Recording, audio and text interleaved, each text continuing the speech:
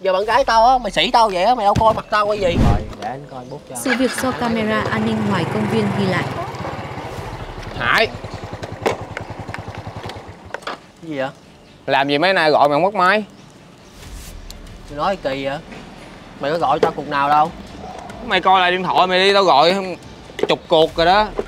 Mà có gì mày liên lạc với tao qua điện thoại thì mày chứ tự nhiên tao đang ngồi chơi mày lại kêu mày Tao gọi mày không được tao mới qua tao kiếm. À bạn anh mà bạn chơi chung với anh á. Giờ tính sao? Em em ngồi đợi anh xíu nha. Làm gì hôm nay mày chạy kiếm tao chứ vậy? Gọi không bắt máy thì phải qua kiếm đi chứ. Thiếu gì cách liên lạc. Mày đang ngồi chơi với bạn tao không? Nhưng mà giờ mày tính tao sao? Mấy cái tiền đó của tao giờ tính sao đây? Thì hôm bữa tao có nói với mày rồi. Giờ này tao đang khổ tao kẹt lắm. Nhưng mà mày thấy kỳ không đủ trong khi mày cho người ta mượn ở ngoài quá trời. Mày không đòi mày đi đòi tao trong khi tao bản thân mày. Mày mày nói vậy mới kỳ vậy? Á Người ta mượn tao ở ngoài á Người ta cũng đóng lời đóng lãi chứ đâu phải là người ta mượn người ta để không. Còn này tao cho mày mượn có đồng bạc lãi nào không? Chẳng lẽ anh em mày lấy lãi tao? Thì đó mà trong khi đó mày hẹn tao hai tháng Qua hai tháng tao cũng không điện tao nói gì hết á.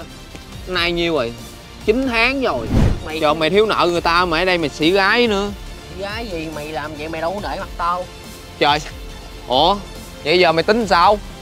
Tin sao gì? Thì nói mày bây giờ tao không có tiền. Bây giờ hiện tại tao không có. Mày cũng phải tính cho tao đi chứ Tự nhiên làm cái kỳ vậy?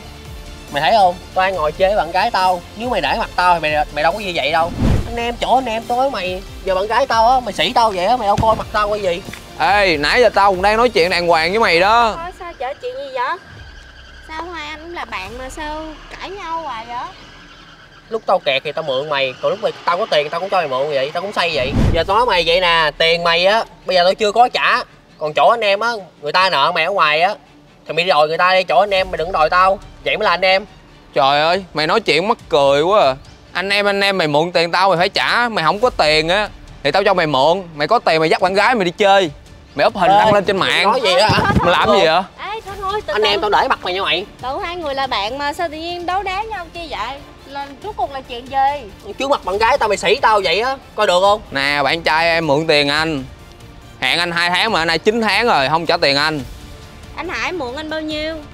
Nó mượn anh 200 200 triệu hả?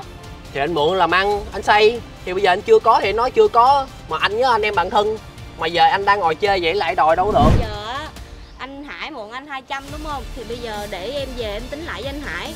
Rồi tụi em ờ, tích góp rồi trả từ từ cho anh được không? Sao được em? Chọi Tết nhất tới nơi rồi.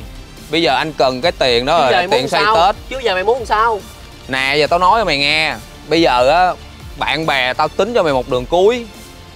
Là bây giờ từ giờ tới Tết Mày trả lại cho tao một nửa. Còn cái kia qua Tết Từ từ mày đưa lại cho tao Đó là cái đó là tao nể tình anh em lắm rồi đó nha. Rồi thôi rồi mày về đây mày nói vậy thôi.